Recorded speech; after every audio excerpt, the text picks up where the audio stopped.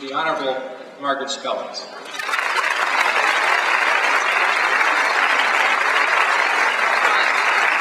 Thank you very much, Dan. That was really sweet. And one thing I might recommend to you before I get into my other advice is always be nice to your boss. You never know how it's going to end up, but Dan is a true public servant. He served in the Michigan legislature, as you all know, and served in a very distinguished career in lots and lots of uh, institutions across our country, and you're very lucky to have him. Uh, one thing you might not know about him yet, but I do, is when he asks you to do something, you might as well just say yes, because you're going to end up doing it anyway. So thank you, Dan. I'm thrilled to be here. It's really a tremendous honor to be here to celebrate really what is one of life's most important accomplishments. He'll really remember this day forever. To the faculty and the Golden Gate family, thank you for the warm welcome and thanks for your efforts helping these students achieve their degree. To all the parents, family, and friends, your support and encouragement helped make this day possible, and you deserve yet another round of applause.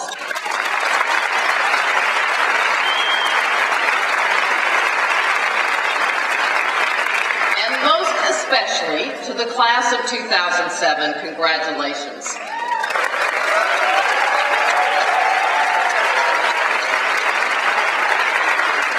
Today, of course, we are here to honor the hard work and determination that got you to this day.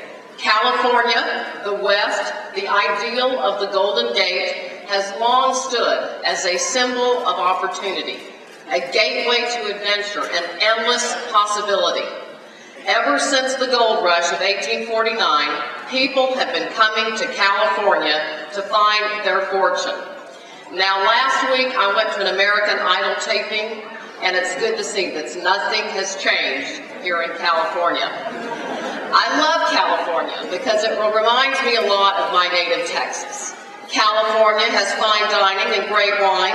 Texas has fine barbecue and great beer. California has big waves. Texas has big hair. California thinks it's the best state in the union. We Texans know better. Commencements are very special moments. Most of us spend our days in the comfort of routine, coffee in the morning, fight traffic, work, pick up the dry cleaning, buy the groceries. Our Palm Pilots and Blackberries give us our marching orders and how quickly life can become one never-ending to-do list. But each of you made a decision to break routine to do something for yourself, to pursue education.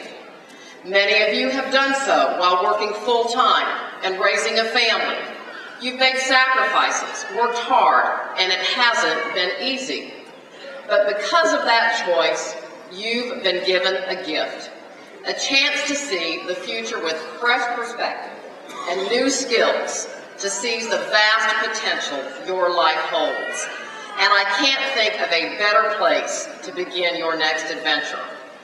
California is a place of big dreams, a land of pioneers and risk takers, a melting pot of diversity that fuels the innovation and spirit of opportunity that is America. Look around you.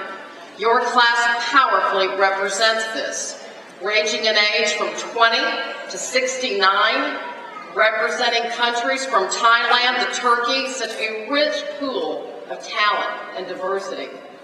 Many of you are the first in your family to graduate, some of you earning a bachelor's degree and others a master's degree. But every single one of you understands that education is the stepping stone to a world of much greater opportunity. So, in thinking on what advice to offer you today, as you embrace this next stage in your lives, I look for inspiration from something every single one of us has needed or will need at some point to get through life. Recognize this? There are lots of days that I think I'm going to survive without my tall extra hot soy misto. And now they not only provide my daily dose of caffeine, but right here on the cup, they're dispensing words of advice as well. hundreds of quotes from singers, authors, even regular citizens, collected to inspire. So I thought I'd share a few of my favorites with you and how they've held true in my life. For starters, number 236. Scientists tell us we only use 5% of our brains. But if they only use 5% of their brains to reach that conclusion, why should we believe them? If no one ever challenged conventional wisdom or questioned authority, think how different and boring our lives would be. So much of what we take for granted, flipping a light switch, flying in an airplane, sending an email, living in freedom, all these things exist because of individuals taking risks. Ordinary men and women who overcame obstacles, endured ridicule, and held true to their ideals. In this life, it's an